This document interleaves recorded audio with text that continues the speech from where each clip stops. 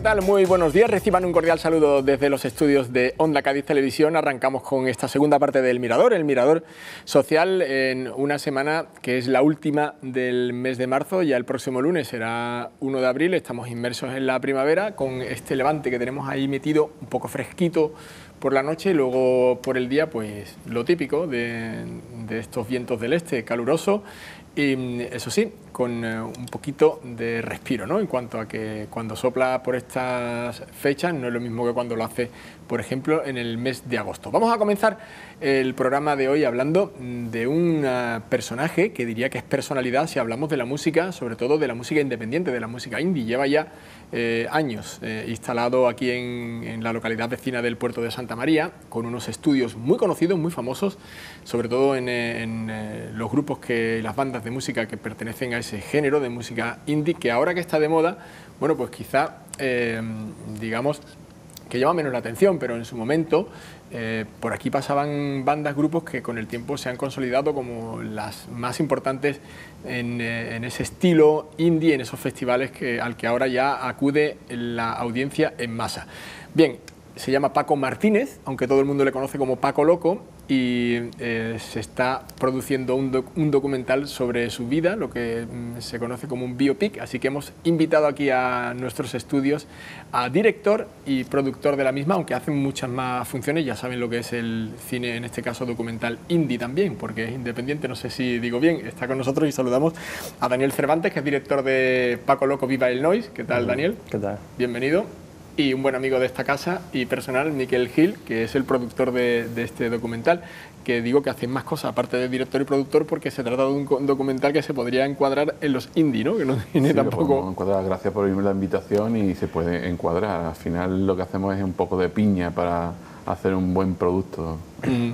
Bueno, Paco Loco, eh, antes de ver el tráiler, mm, un adelanto. ¿Quién es Paco Loco? ¿Quién es Paco? Esa es una pregunta curiosa. es la pregunta un poco que motiva el documental al final, ¿no? Ah, que es eh, mm, quién es Paco Loco más allá de lo que se ve encima del escenario o más allá de lo que se sabe que, que, es su trabajo como productor, indagar un poco más en su persona, en su personalidad y su vida. ¿Quién es ah. Paco Loco? Pues Paco Loco es, un personaje, un personaje con, todas las letras.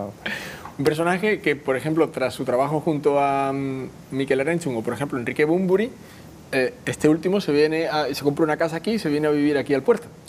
Sí, ¿no? casualmente se vino aquí porque la verdad es que le gustó, incluso en su libro aparecen algunas, algunas partes en las que detalla un poco su, su relación con Paco Loco y su y como y, la grabación, ¿no? De, creo que fue con una colaboración y tal de de, de, Bumburi eh, allí en el estudio de Paco Loco. Además, creo que allí ha, grabado eh, su disco cuando ha estado en solitario. Y, nada, eh, básicamente vemos también cómo el puerto atrae a, gente como Bumburi, Miquel Enchun, Nacho Vegas, ¿no? y eso a raíz de, cómo trabaja como productor, porque como hemos estado hablando, Paco Loco es un personaje, pero es un grandísimo productor, es un trabajador incansable y cuando lo ves trabajar allí en su propio estudio, que lo hemos tenido con, con Mikel Enenchu en este, en este caso, eh, vemos la capacidad y la profesionalidad de, una persona que, claro, eh, muchas veces hay muchos prejuicios ¿no? en cuanto a ves a, a una persona y, te crees otra cosa de lo que es realmente. ¿no? Entonces, en el documental queremos indagar, queremos mm, explorar y queremos experimentar con Paco Loco personaje y con Francisco Martínez como persona. y, bueno, eh, creo que poco a poco lo, lo, estamos consiguiendo, porque esto la verdad es que está siendo un proceso largo y, y, buscando un poco eso, ¿no? la, verdad y siguiendo lo que son los procesos de grabación, cuando actúa y, bueno, estamos en, en, la mitad más o menos de, la producción. Bien, lo que sí tenemos es lo que se conoce en el argot cinematográfico un teaser, que es un pequeño tráiler, una muestra de lo que se está elaborando al respecto de Viva el Noise y Paco Loco. ¿Os parece que lo veamos? Sí. ¿Sí? Bueno, vamos a verlo.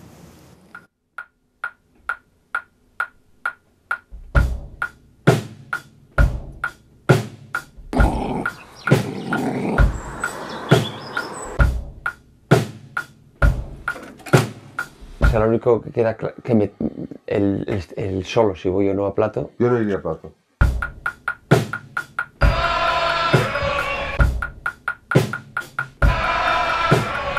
Sergeant Sex Garden, estos eran de, de Cuenca.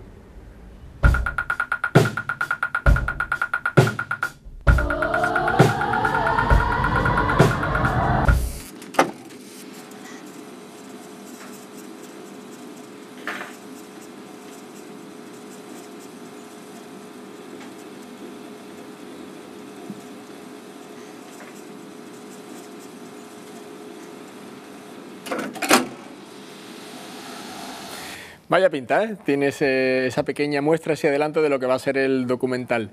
Bueno, eh, decía en este caso Miquel, Daniel, director de, Viva el Noise, que se trata de conjugar el personaje con la persona. Paco Loco con Francisco Martínez. Eh, vamos a un poco a ir situando. Él es asturiano, de nacimiento. Sí. No, no, no. Él, es de nacimiento mexicano. Mexicano. Lo que pasa es que muy jovencito, no sé exactamente a qué, a qué edad, pero muy joven, se va a Asturias y es donde se pasa la mayor parte de su vida hasta ya los últimos años, en el 95 más o menos, es ya cuando se viene al puerto de Santa María. Bien. Se dedica a la música, él era de hecho componente de algunas, algunas bandas, entre las más conocidas Australian Blondes, que tiene diversas etapas, ¿no? con distintos componentes, pero que fue un poco pionera esa banda en lo que se conoce como fenómeno indio, música independiente. Sí, sí, eh, con esa banda fue una de las, bueno, no sé si fue exactamente de las primeras, pero sí, yo creo que más o menos en las primeras etapas, es junto con otra banda muy importante, sobre todo allí en, esa época en Asturias, que, son Los Locos, mm. que es lo que le hace que él adquiera ese, ese seudónimo. ¿no? Mm, bueno, nos hemos, hemos, hecho un pequeño viaje en el mm, tiempo, ¿eh? este es Chup Chup, ese tema de Australian Blonde, que estamos viendo para situarnos un poquito que fue además bandas sonoras, creo recordar, según nos apunta nuestro compañero mm. Dani aquí en los estudios, que es un gran cinéfilo, que fue banda sonora de Historias del Cronen, que mm. es una película también que creo que marcó una, una época en los que tenemos cierta edad.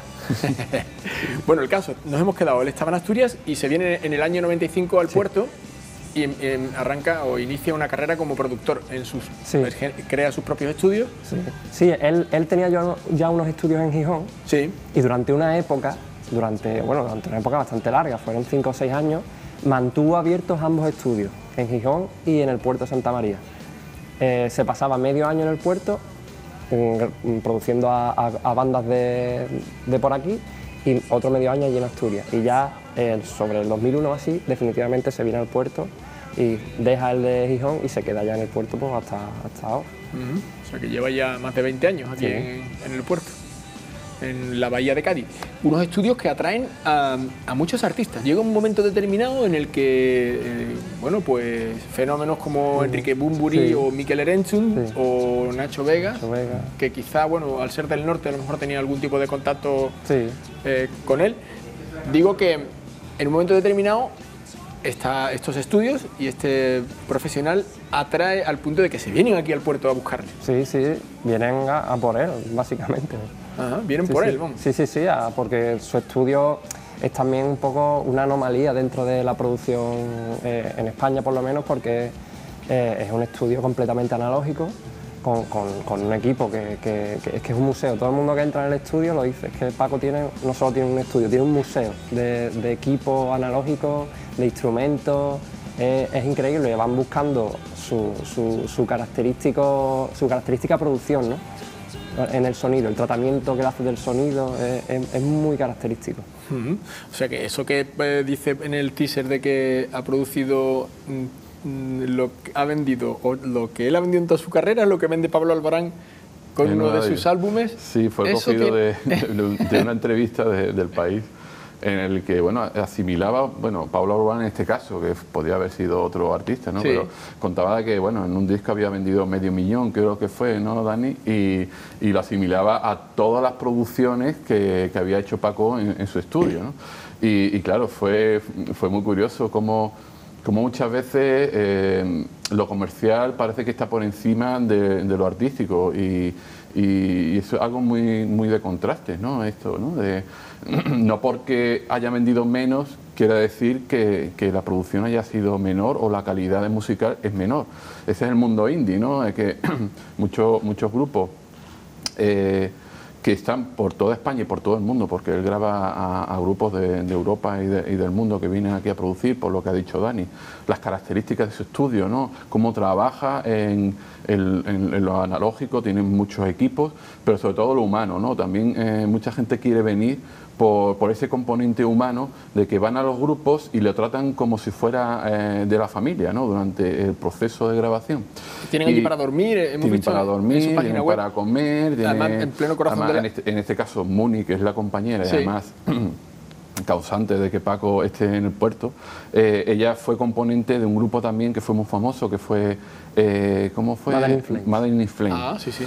Y, ella es cantante, o sea, era la cantante de este grupo y, está allí y hacen una pareja perfecta porque ella incluso colabora algunas veces en grabaciones, en coros, es famosa por sus coros, y, y, es como eso, una semana, dos semanas, según lo que, y los grupos que salen como ya mm, como si fuera una familia, ¿no?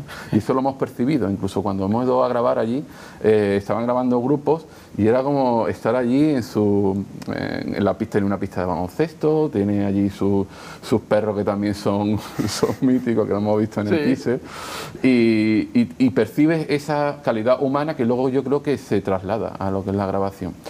Y, lo que estábamos hablando, eh, muchas veces eso se da como un poco de menos de valor ¿no? a, la, calidad musical en cuanto a los grupos indie, pero es, es un concepto que queríamos trasladarlo a, lo que es la, hoy en día las producciones independientes. Mm. Bueno, hemos, hemos, conocido, nos hemos acercado un poco a Francisco Martínez Paco Loco, que es el protagonista de este documental, de esta pieza cinematográfica, pero ahora queremos precisamente mm, hablar de la misma. ¿Qué habéis? Pues claro, hacer una, no es una biopic, porque no es una, en este caso, un documental sobre su vida, habría que ir al sitio donde nació en México, después donde vivió, sino que se trata más de situar el personaje, ¿no? de hacer una foto en, a día de hoy de lo que es Paco Loco y su estudio. Sí, esa creo que es la mejor forma de, decirlo, es como un retrato, ¿no? es, algo momentáneo ahora, eh, por supuesto reflexionar sobre desde sus orígenes, eh, como con toda la gente que estamos hablando también nos están dando cada uno una pieza del gran puzzle que es la vida de Paco Loco. Pero sobre todo es eh, eh, colocar ahora y, descubrir a mucha gente también este, este pedazo de, artista y de productor que, tenemos aquí, básicamente. Mm. ¿De quién os habéis rodeado? Pues, ¿De qué este testimonios habéis eh, salpicado el documental para acercarnos a Paco Loco? Bueno, estamos todavía en proceso de tener más más, componentes, más testimonios. Eh, es verdad que, hasta ahora hemos recuperado, hemos realizado, mejor dicho, una serie de, de grabaciones. Eh, por ejemplo, hemos hecho un seguimiento en el Monkey Week porque es, es, un festival que está muy vinculado a, Paco Loco porque él es básicamente el, alma, es como la chispa, ¿no? Luego están detrás los que lo hicieron, que es los que tienen más, más valor, pero Paco, Paco es una persona que, creo que eh, es importante el título, Viva el no ese, Viva la gente que hace ruido, ¿vale? Eh, ¿Por qué? Porque yo creo que es un efecto dominó cultural. O sea, mm, nosotros, por ejemplo, de, Paco Loco fue la idea de Monkey Week, Monkey Week fue la chispa para el Shorty Week y Shorty Week fue también la chispa para Insomnia. Entonces, eh, estamos dando, dando valor a, a, gente que, que, genera eso. ¿no?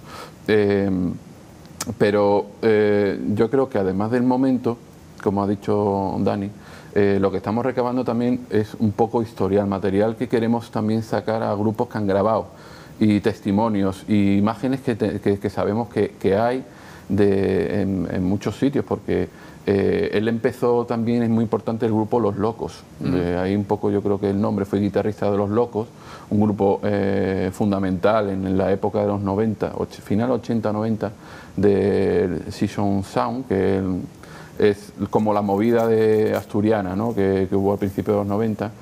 Y, queremos recabar grabaciones de cómo es ahora, De, cómo es Paco Loco en su, en su vida día a día, pero también su recorrido ¿no? y, cómo ha generado también movidas culturales tanto en el norte como en el, en el sur. Sin embargo, ha elegido el sur para quedarse. Bueno, lo ha elegido por motivos de, amor, en este caso. Ah, bueno, de amor a la tierra y, y, ahora lo ama, lo ama profundamente. O sea, si, no te puedes imaginar lo, que intenta, lo que intenta eh, inculcar la cultura en el puerto Santa María. Y, y en la bahía de Cádiz, ¿no? claro, en nuestra tierra. Sí, él más, particularmente en el puerto, pero es verdad que eh, es alrededor ¿no? de lo que es la bahía de Cádiz. Pero si tú vieras cómo, cómo te habla del puerto y cómo genera esa ilusión, eh, parece que es un portuense más, mm. ¿sabes? y la verdad que eso, eso te transmite la, la ilusión y cómo está generando el fenómeno cultural alrededor de una persona con tanta ilusión. ¿no? Hoy Diario de Cádiz dedica, por cierto, una página, ¿no?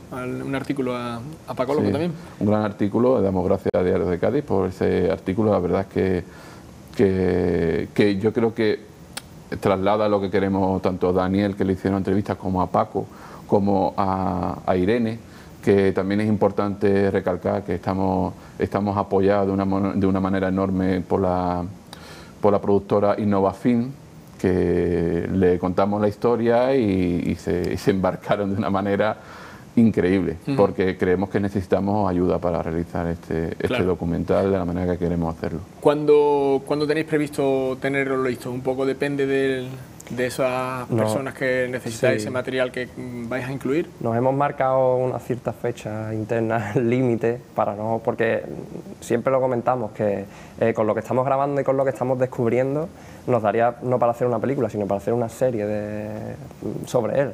Lo que pasa es que queremos concentrarnos y decir, vale, hay que coger lo mejor de lo mejor para hacer la película. Entonces nosotros tenemos previsto que para principios de 2020 la película ya esté lista, terminada y ya podamos atacar la distribución. Meterla en distribución, que la idea es un poco visibilizar ¿no? este, sí, sí, sí, claro. este profesional y lo que hace tan, en estos tiempos no tan eh, comerciales, tan de mm. relumbrón en, esta vanguardia en la que necesitamos visibilizarnos hasta para sí, totalmente. algo a, él, rutinario. Eh, como que todo esto que nos tiene, y digo nos tiene porque al final nos afecta a todos, ¿no? esta visibilidad y, y, este, esta tensión de que lo que hagamos se vea, se vea y, que tenga mucha visibilidad, mucha visibilidad.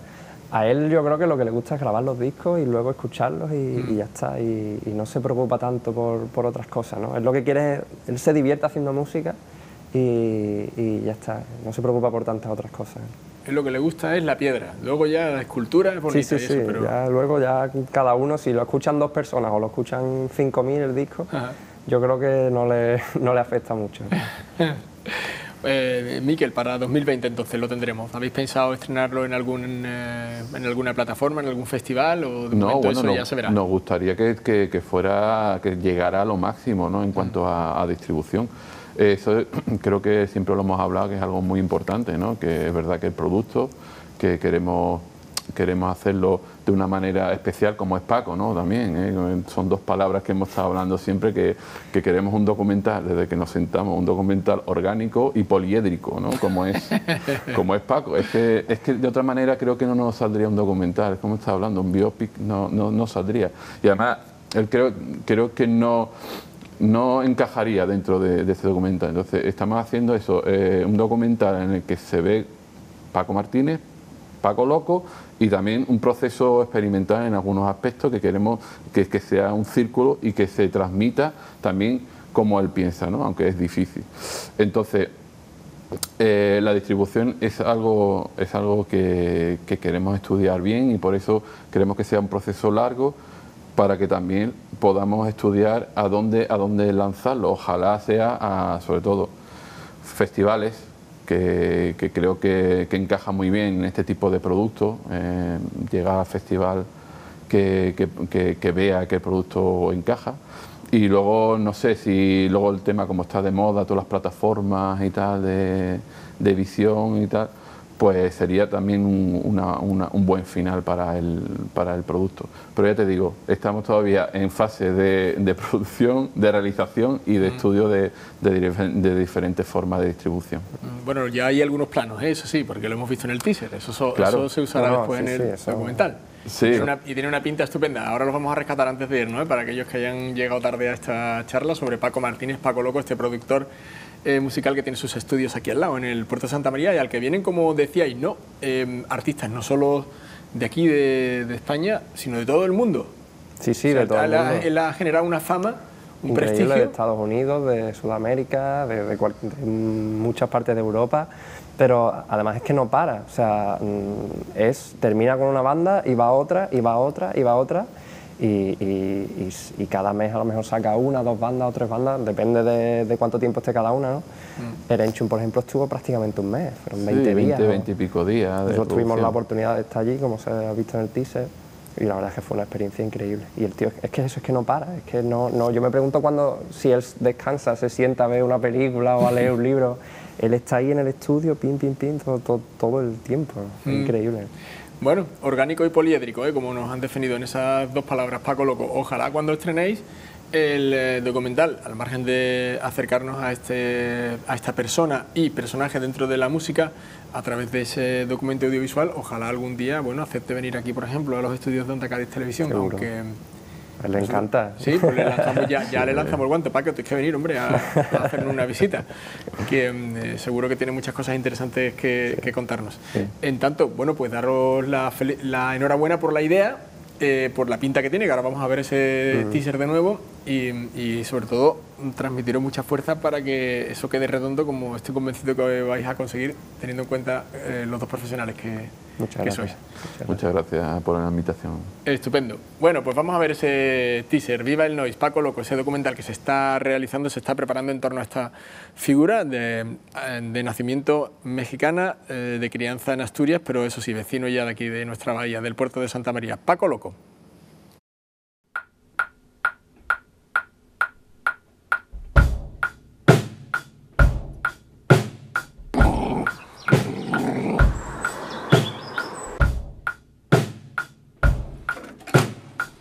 Único que queda que me, el, el, el, solo, si voy o no a plato. Yo no iría a plato.